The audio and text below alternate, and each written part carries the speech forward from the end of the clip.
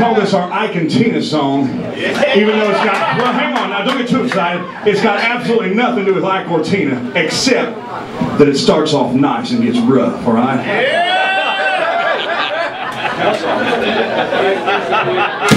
Yeah!